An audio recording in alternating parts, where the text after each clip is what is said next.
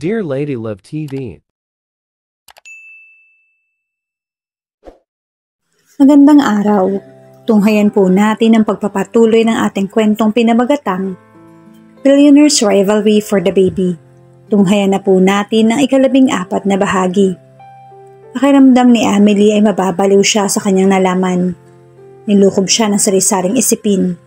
Aniya, kung tauhan ni Anton si Ted, bakit siya nito tinulungan? Nutusan kaya ito ni Anton? Nagsimula na rin siyang pagdudahan ng kabutihan ni Ted. Napaisip na siya kung ang lahat ba ng ginawa ni Ted ay kusang loob o dahil lamang inutos iyo ni Anton. Pakiramdam niya ay trinidor siya nito. Buong akala niya ay nadamay lamang ito sa mga problema niya sa buhay matapos niya itong hilahin sa kanyang pagtakas. Hey Amelie, are you listening? Wika sa kanya ni Dino dahilan para bumalik siya sa realidad. Naigala niya ang paningin, ay noon lamang niya napansing nasa veranda pa rin sila. Nakaupo sila ni Dino sa bench at sa di kalayuan naman ay naglalaro ng the remote control na eroplano si Hyro. Okay ka lang ba? Kanina pa kita kinakausap. Kitang-kita ang pag-aalala sa mga mata nito. Ipinilig ni Amelie ang kanyang ulo at pinilit niyang ngumiti sa binata. Pasensya na. Medyo lutang dahil sa pagod. Ano nga ulit yung sinasabi mo? Ah, pagod ka ba? Bumalatay ang lungkot sa mukha nito. Meron sana tayong imimit ngayon eh. Pero kung pagod ka, so susunod na araw na lang. Sino? Umusbong ang kanyang kuryosidad. Surprise sana. Kilala ko ba yan? Marahan naman tumango ang lalaki. Naiintriga ako kung sino yan. Kaya tara, imit na natin. Ilang sandali namang napatitig sa kanya si Dino na para bang tinatansya niya ito. Sigurado ka ba? Oo naman. Binigyan niya ng ngiti ang lalaki. Gusto ko rin namang makita kung sino yung sinasabi mo. At saka sayang naman kung sasayangin natin yung surprise mo. Matapos sabihin iyon ni Amelie, ay walang sinayang na sandali si Dino. Kaagad niyang tinawag si Jairo at sinabing pupuntahan sila. Kaagad din silang bumiyahe patungo sa meeting place. Matapos ng ilang minutong biyahe ay nakarating sila sa isang restaurant. Reservation for Mr. Dino Villaforte. Formal na tura ni Dino sa babaeng crew ng restaurant na makapasok sila. This way, ma'am and sir. Agad naman silang sumunod sa babae. Nagmukha silang isang pamilya dahil karga-karga ni Dino ang bata. Nang makarating sila sa tapat ng VIP room, ay hindi na naiwasang makaramdam ng kaba si Amelie. Hoy Dino, sino ba talaga tong imimit natin ha? Makikilala mo rin siya. Naghihintay siya sa loob. Itinulak ni Dino ang pinto. Hinayaan niya itong bukas ngunit hindi siya pumasok. Bes! Matinis na tila, sumalubong sa kanya. Bes! Hindi niya na napigil ng pagsili ng ngiti sa kanyang labi na makita niya itong si Mia. Wala siyang sinahing na sandali. Kaagad niyang Pinasok sa loob at niyakap ang kanyang kaibigan. Oh my God, namiss kita best. Ginantihan rin niya ng mahigpit na yakap. Namiss din kita. Kitang-kita ang galak sa kanilang mga mukha. Nang kumalas ito ng yakap ay kaagad na napunta ang tingin ni Mia kay Dino na karga-karga si Jairo. Iyan na bang inaanak ko? Kaagad namang nilingon ni Amelie ang kanyang anak. Si Dino naman ay binaba ang bata. Hyro, halika dito, dali. Sinenyasan pa niya itong lumapit. Magmano ka sa ninang mo. Singilin mo siya sa mga utang niya sa'yo. Sabihin mo with interest kasi late na siya nagbigay. Nagmano naman sa kanya ang bata, ngunit na natili naman itong walang imik. Ilang sandali rin siya nitong pinakatitigan. Best naman, ubos yata agad sahod ko nito eh. Tila nagre-reklamo nitong wika. May trabaho ka pala eh. Baka pwede akong makautang sa'yo. Umabresyete ito sa kanya at marahan siyang hinila patungo sa upuan. Nanatili naman sa may pintuan si Dino kasama si Jairo. Kausap na lalaki ang isang waitress. Dapat nga ikaw magpautang sa akin eh. Ang swerte mo, bes. Naanakan ka lang naman ng isang Villaforte. Lumingon nito sa kinaroroonan ni Dino bago ito muling nagsalita. Iyan lang ba? Iyan ba si Fafa Dino? Walang balak panagutan ka? Halos pabulong nitong tanong. Bakit niya ako pananagutan? Hindi naman sigurado kung anak niya talaga si Jairo. Nanlaki ang mga mata ni Mia sa narinig. Teka teka, anong hindi sigurado? Bunga nga mo. Saway niya rito dahil medyo napalakas ang boses nito. Kaagad naman itong nakuhang ibig niya sabihin. Sandali itong lumingon kay Dino na abala pa rin sa pakikipag-usap. Nag-peace sign si Mia sa kanya na bumalik sa kanya ang tingin nito. Nandun ka naman nung kasal ko, di ba? Naalala mo ba yung lalaki? Natutop nito ang kanyang bibig nang matanto nito ang kanyang gustong sabihin. Yung gwapong intruder nung kasal nyo? Siya ba ang tatay? O may posibilidad na siya. Ano may posibilidad? Posibleng isa sa kanila ang tatay. Nanlaki ang mga mata ng kanyang kaibigan. Oh my God, ang landi mo girl. Pinalo niya ito sa kanyang braso. Nagpatuhog ka sa kanilang dalawa? Bago pa siya makahuma sa tinura nito, ay gumuhit sa labi nito ang piliang ngiti. Gosh, Bes, sino mas yummy? Kaagad naman nag-init ang kanyang pisngi dahil sa tanong nito. Sira, walang ganon. Natigil lamang sila sa pag-uusap na lumapit sa kanila si Dino. Napatikhim na lang siya at napaayos ng upo. Napunta naman ang atensyon ni Mia sa bata. Na magsimula silang kumain ay nagpatuloy sila sa pagkukwentuhan ngunit tungkol sa buhay ni Mia na ang kanilang pinag-uusapan. Nakapagtapos raw ito ng pag-aaral at ngayon ay nagtatrabaho na bilang manager ng isang bangko. Matapos ang tanghalian ay pumunta sila sa mall. Ibinili ni Mia ang bata ng mga laruan. Pambawi raw dahil ngayon lang siya nakita ng kanyang inaanak. Marami pa silang napag-usapan pero halos lahat ay tungkol kay Jairo at kung paano nakaya ni Emily ang pagpapalaki sa bata. Hindi naman masyadong umimik si Dino. Madalas ay nakadistansya rin sila ni Jairo na parang binibigyan siya nito ng chance na makasama ang kanyang best friend. Naghiwalay lamang sila ng landas nang matapos ng hapunan nila sa isang restaurant. Mahigpit pa silang nagyakapan nang magpaalam sila sa isa't isa. Nakaramdam ng lungkot si Emily na maghiwalay na sila. Gayon pa man, ay walang pagsidlan ang kanyang saya na makasama ang kanyang best friend. Thank you. Sobra kong na-appreciate yon. Puno ng sinseridad ni Anturan kay Dino. Thank you rin sa araw na to, Emily. Binigyan siya nito ng matamis ng ngiti. Sa akin muna matutulog si Jairo. Gusto ko sana siyang makatabi. Sige, tumango naman ang dalaga kasabay ng pagngiti. Sige, alis na kami. Good night, Emily. Good night, Mama. Humalik naman ang bata sa kanya. Good night rin sa inyo. Kumaway pa siya sa dalawa na magsimula na sila humakbang patungo sa silindino. Nang maiwan siya mag-isa, ay tila nakaprogram na bumalik sa isip niya ang nalaman tungkol sa kaugnayan ni Ted kay Anton. Gusto niyang puntahan at kumprontahin si Ted, ngunit baka magsumbong ito kay Anton. Kung kailan handa na siyang bigyan ng chance ang lalaki, ay sa kanya nalaman ang isang sikreto. Ano niya sa sarili, paano niya binigyan ng chance ang lalaki kung mayroon itong tinatagong sikreto sa kanya. Paano siya magtitiwala kung hindi nito magawang sabihin ng totoo sa kanya. Gusto niya itong kumprontahin ngunit nakita niya lumabas ito ng mansyon kanina Nakasuot ito ng dark blue three-piece suit at mukhang papasok sa opisina. Nawala siya sa malalim na pag-iisip na marinig niya ang tatlong katok sa pinto. Nang buksan niya iyon at bumungod sa kanya, si Denden. Magandang gabi ma'am, para sa inyo raw po. Iniabot nito ang isang kulay pink ng teddy bear at chocolate bouquet. May kasamang disenyo iyon na plastic na dahon. Nagsilbing bulaklak nito ang mga bilog na tsokolate. Nang tanggapin niya iyon ay kaagad siyang iniwan ng katulong. Na makapasok siya sa loob, ay nakita niya ang maliit na kulay gintong envelope na bouquet. Hinugot niya iyon at binuksan. My beloved Emily, I will be going on a business trip. Let's just see each other tomorrow afternoon. I will be missing you and our son. Please take care while I'm out.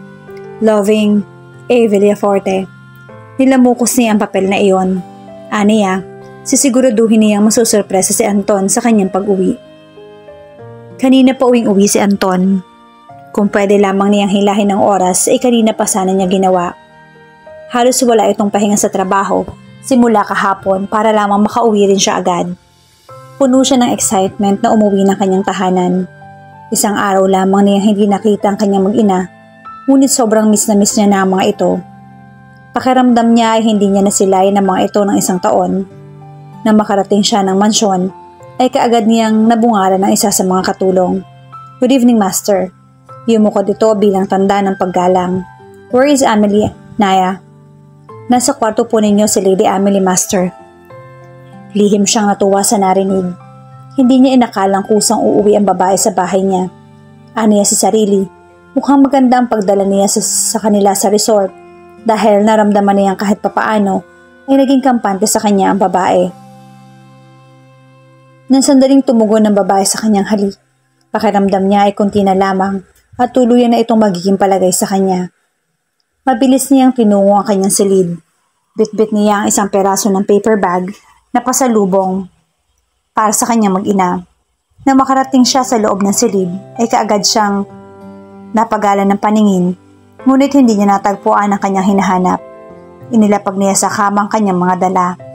Ang tuwa ni Anton na darama ay napalitan ng pagkabog sa dibdib nang makita niya bukas ang pinto ng gallery room. Lalong lumakas ang kanyang kaba na makita niya ang babaeng nakatayo at nakatitig sa nakadikit na larawan sa dingding.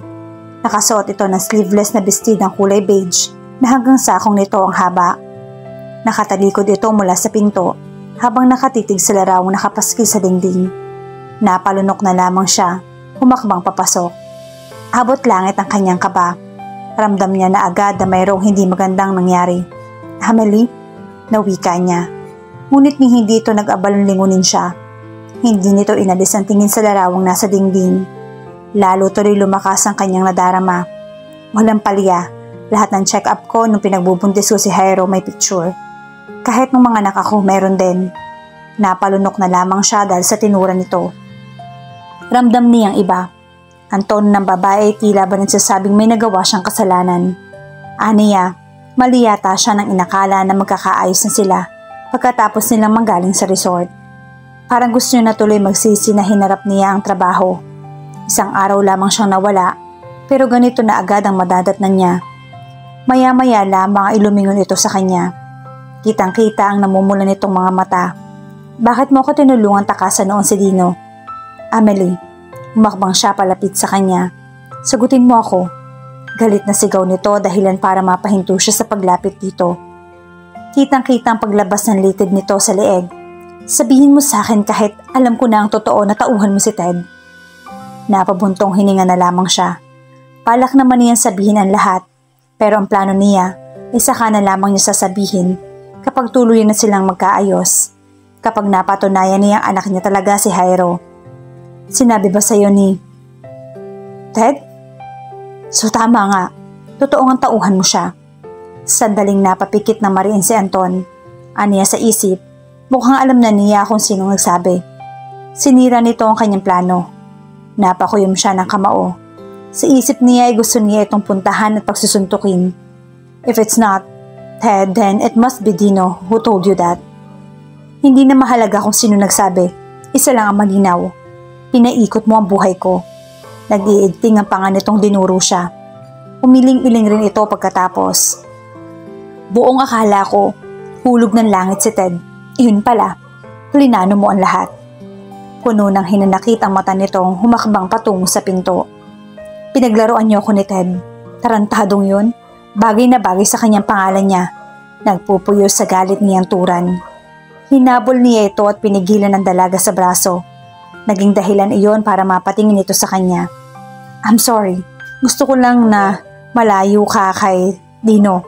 Puno ng sinseridad ang kanyang kulay, kayumangging mga mata. Bakit? Anong dahilan? Napalunok siya bago muling nagsalita. I'm afraid. I'm afraid that you might fall in love with him. Marahas niyang tinanggal ang kamay nitong nakahawak sa kanya. Tumalim din ang tingin nito sa kanya. Paano ko magugustuhan si Dino kung alam ko noon ay siya ang masama? Paano ko magugustuhan yung lalaking akala ko noon ay rapist? Parang nadurog ang puso niya sa sinabing iyon ng dalaga. Mukhang malabong magustuhan rin siya nito dahil ang tingin niya sa kanya ay masama at isang rapist. Kaya ba alam mo ang birthday ni Jairo kasi sinabi ni Ted? No, Emily. Umiling siya. I know because I was there. Sinalubong niya ng tingin ng babae. Mula nung muntikan ka makuna nandoon ako. Sa lahat ng check-up mo, hindi ako nawala. Kahit noong mga naka, nandun din ako. Naramdaman niya ang paghapli ng kanyang mga mata. Pero sorry. Sorry pa rin dahil hindi kita nasamahan sa pagpapalaki kay Jairo. So ikaw nga talaga ang totoong ama ng anak ko? Marahan siyang tumango para itong asong nabahag ang buntot. Yes, nagsasagawa ng DNA test noong muntik kang makunan. Kahit noong mga naka, nagkaroon ulit ng test. Tumulo ang luha sa mga mata ng dalaga, ngunit mabilis din niya iyong pinunas. Kung andun ka, bakit hindi ka nagpakita? Bakit hindi ka nagpakilala noon pa? Dahil alam kong galit ka. Gusto kitang bigyan ng panahon na mag-move on. Iyong mga tulong na binigay ni Ted, sa'yo ba galing? Muli itong tumango. Napakuyom ng kamao si Emily. Pilit niyang pinipigilan ng sariling maiyak dahil sa labis na galit. Pakiramdam niya ay pinagkaisahan siya ni na Ted at Anton. Trinaydor ako ni Ted. Kitang-kita ang paglabas ng litid sa kanyang lieg dahil sa pagsigaw nito. Kitang-kita rin ang galit sa mga mata nito. At ikaw naman, pinaikot mo ang buhay ko. Gigil na gigil niyang turo sa dibdib nito. Kumuyom ang kanyang kamao bago siya umatras palabas ng silid. Ngunit mabilis niyang hinabol si Anton at niyakap muli sa kanyang likod. I'm sorry. Puno ng sinseridad ang tinig nito. Gumaralgal din ang boses nito. Bitiwan mo ako. Ayoko munang makita ka. Pinilit nitong tanggalin ang kamay niya, ngunit lalo lamang humigpit ang pagkakayakap nito sa kanya. No, please. Huwag mo kong layuan. Ayusin natin to, please. Ayusin? Alam mo bang gusto na kitang bigyan ng chance pero tapos malalaman kung ganito? Kung gusto mong maayos tayo, dapat sana sinabi mo sa akin ang lahat.